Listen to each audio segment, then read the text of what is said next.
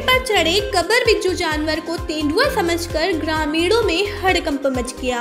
ग्रामीणों ने तत्काल पेड़ पर चढ़े कबर बिज्जू की जानकारी थाना पुलिस और वन विभाग की टीम को दी।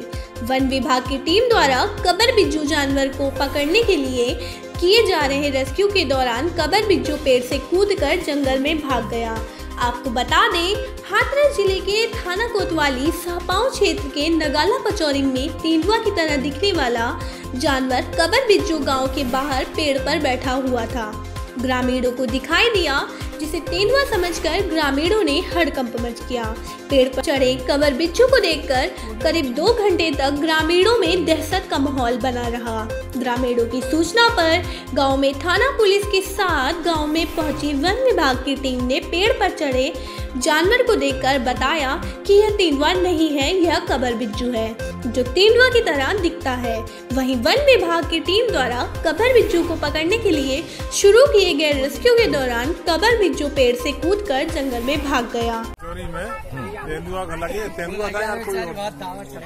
जानवर। हम्म, तेंदुआ की सूचना दी गई तहसील सादाबाद में बैठे हुए थे।